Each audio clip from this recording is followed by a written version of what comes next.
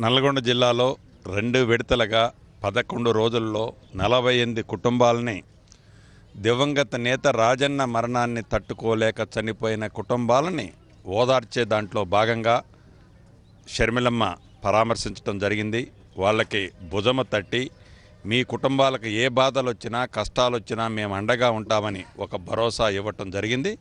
రాబోయే రోజుల్లో ఒక్క నల్గొండే కాదు మిగిలిన ఇంకా ఏడు జిల్లాలు ఉన్నాయి ఏడు జిల్లాలను కూడా వీలైనంత తొందరలో చనిపోయిన కుటుంబాలని పరామర్శించే దాంట్లో భాగంగా దివంగత నేత రాజన్న కూతురు షర్మిలమ్మతో కలిసి మేమంతా ఆ కుటుంబాలని పరామర్శించనున్నాం.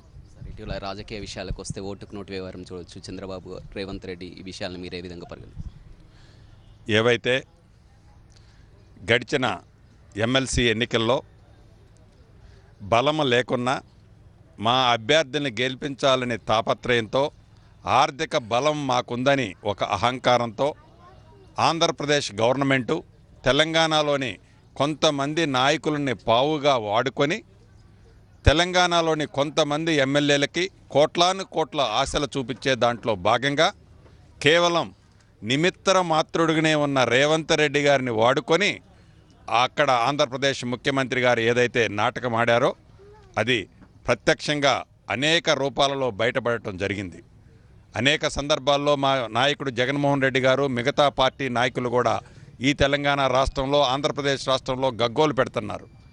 ఎవరైతే తెరనకుండి ప్రత్యక్షంగా నడిపించిన ఆంధ్రప్రదేశ్ ముఖ్యమంత్రి గారిని ప్రథమ ముద్దాయిగా చేసి వెంటనే అరెస్టు చేయాలని కూడా డిమాండ్ చేస్తుంది తెలంగాణ వైఎస్ఆర్ కాంగ్రెస్ పార్టీ. సార్ అదేవిధంగా చూసినట్టయితే తన ఫోన్ని ట్యాపరింగ్ చేశారు. ఇందులో జగన్ కుట్ర ఉంది అని కూడా తెలుగుదేశం పార్టీ నాయకులు చెప్తున్నారు.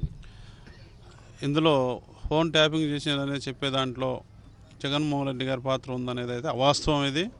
ఎవరు ఈ ట్యాపింగ్ చేసిందనేది ఎవరు కూడా సిబిఐ కూడా చెప్తా ఉంది. ఏసీబీ వాళ్ళు కూడా చెప్తా ఉన్నారు. వాళ్ళకు ఉన్నటువంటి ఆధారాల ప్రకారము పట్టుకోవడం జరిగింది. అరెస్ట్ చేశాము అని చెప్తా ఉన్నారు. ఈ ట్యాపింగ్ విషయంలో మా నేత మా వైఎస్ఆర్ కాంగ్రెస్ పార్టీ నేతకు ఎటువంటి సంబంధం లేదు. కావాలని బురద జల్లే ఆరోపణలు రాజకీయంగా మమ్మల్ని వైఎస్ఆర్ పార్టీని దెబ్బతీయాలనే ఆలోచనతో చేస్తున్నటువంటి తప్ప ఇందులో ఏమాత్రం కూడా వాస్తవం లేదు. మొత్తం మీద.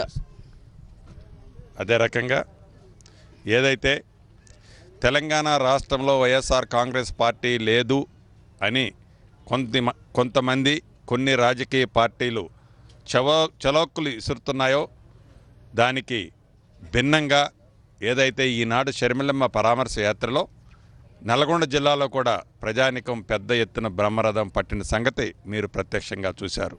అంతేకాకుండా గడిచిన ఎమ్మెల్సీ ఎన్నికల్లో వైఎస్ఆర్ కాంగ్రెస్ పార్టీ టీఆర్ఎస్ పార్టీకి మద్దతు ప్రకటించింది. YSR Congress party TRS party ఒకటేనని కొన్ని రాజకీయ పార్టీలు వైఎస్ఆర్ కాంగ్రెస్ పార్టీ మీద బురద చల్లుతున్నది. అది అవాస్తవం. ఈనాడు తెలంగాణ రాష్ట్రంలో ఉన్న మూడు రాజకీయ పార్టీలైన కాంగ్రెస్ తెలుగుదేశం వైఎస్ టిఎస్ టీఆర్ఎస్ పార్టీ వైఎస్ఆర్ కాంగ్రెస్ పార్టీకి సమదూరంలోనే ఉన్నాయి. రాజకీయంగా ఒక సంవత్సర పరిపాలన చేసిన టీఆర్ఎస్ పార్టీకి తెలంగాణ ప్రజలకి మంచి అవకాశాన్ని మంచి అభివృద్ధి సంక్షేమ కార్యక్రమాలని చేస్తుంది అని నమ్మి ఈ ఒక్క ఎన్నికల్లోనే ఈ ఎమ్మెల్సీ ఒక్క ఎన్నికల్లోనే వైఎస్ఆర్ కాంగ్రెస్ పార్టీ టీఆర్ఎస్ పార్టీకి మద్దతు తెలిపింది తప్ప రాబోయే అన్ని ఎన్నికల్లో రాబోయే ఏ అంశం వచ్చినా వైఎస్ఆర్ కాంగ్రెస్ పార్టీ టీఆర్ఎస్ పార్టీకి మద్దతు తెలుపుకుంటుంది అని ప్రచారం చేస్తున్న ఆ రాజకీయ పార్టీలకి ఈ వేదిక మీద నుంచి ఒకటే చెప్తున్నాం.